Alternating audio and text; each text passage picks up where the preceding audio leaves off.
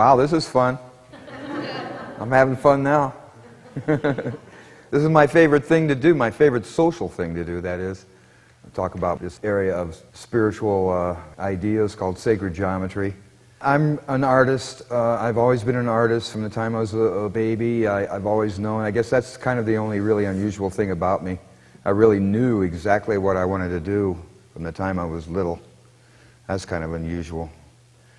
And I've been uh, off and on that path over the years, and uh, I keep getting directed back to it. And I mean, even when I was a baby, I, I, saw it as a spiritual idea. I saw it as a spiritual goal to make art as an assignment. Like uh, my artistic abilities was a, a gift really to be used for spiritual purpose. And I felt that from a very early age. And that's primarily what I do. And I've been led to the ideas of mandala and, and sacred geometry and I'm pretty hermetic. I'm pretty, uh, pretty much a recluse. Uh, spend lots of time by myself. But it's been such a healing process. My experience with mandala making and sacred geometry has been, been so healing that I started to perceive that, uh, wow, everybody needs to know this. And so I was called uh, like a shaman in a way to try to express what I've, I've come to know to as many people as I possibly can. That's my primary goal for the, for the rest of my life is to, I feel a little bit like um, Johnny Appleseed. you know, except I'm, I guess I'm Charlie Geometry Seed or something. But uh, I'm, I'm out there, you know, looking for some place to plant, plant these seeds.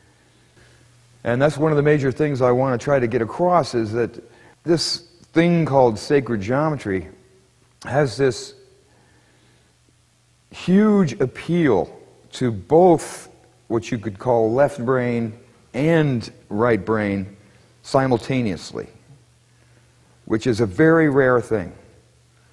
And so, on the one hand, it appeals to the scientific, uh, sequential time space kind of mind, the mind that thinks about logic and numbers and mathematics and that, those kinds of things, and it satisfies totally and at the same time, it, sacred geometry, and the ideas of sacred geometry, and the realities of sacred geometry appeal to our, our heart mind, our knowing, the knowing in us, the, our intuitive sensibility simultaneously.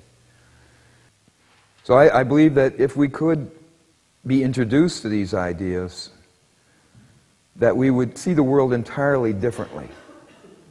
And and when I first got involved with sacred geometry, it was so mystical, so powerful, And I was so excited about it that I tried to tell all my friends about it.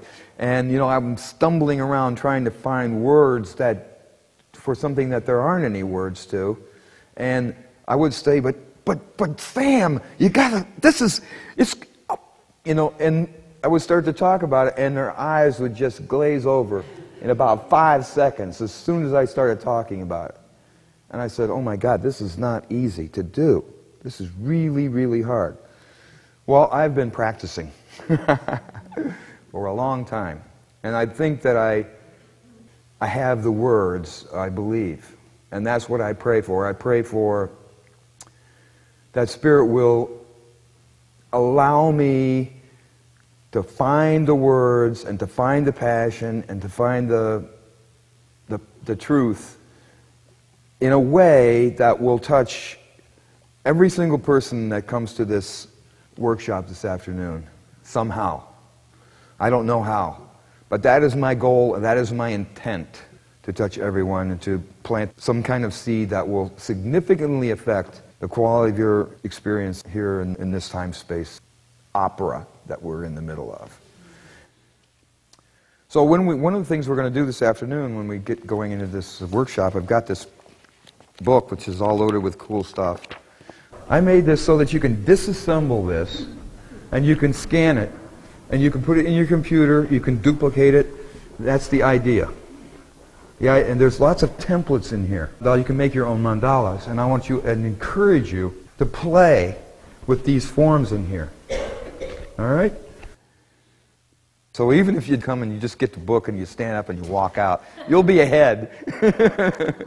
but if you stay, oh yeah, you'll get a lot more. So I just wanted to say one more thing, and I'm going to let go. I'll let you go. And I was struck when this candle uh, was lit because the whole essence of sacred geometry is based on single pointedness, oneness, uh, at one atonement, uh, unity idea, undivided single pointedness. And um, when Joanne said uh, this, this light, this, which represents Christ consciousness, is everywhere, yeah. That flame and that little dot is a manifestation of single pointedness. And that flame is in all of us, the same flame, the same single point. And that is the whole essence of sacred geometry omnipresent, omnipotent unity. And the way it unfolds into duality, and the way it returns to unity.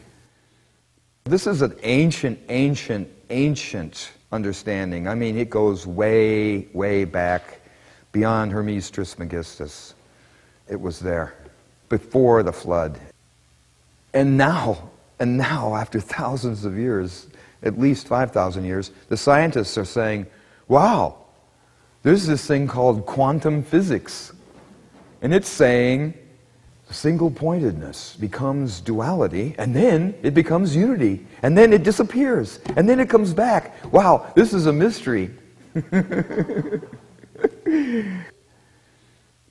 Even science is embracing the incredible mystery of the universe, the magic of it. They're actually dealing with it. Right up against mystery. Science and mystery like this for the first time. I Love it.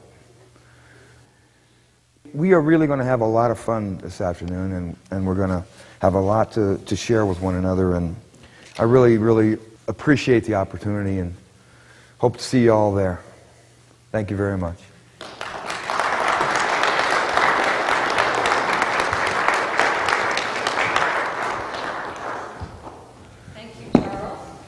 You're welcome.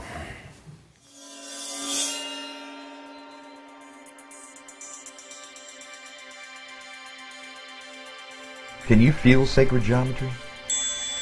Do you feel the natural attraction? Come to our next workshop. You'll love it. I guarantee it.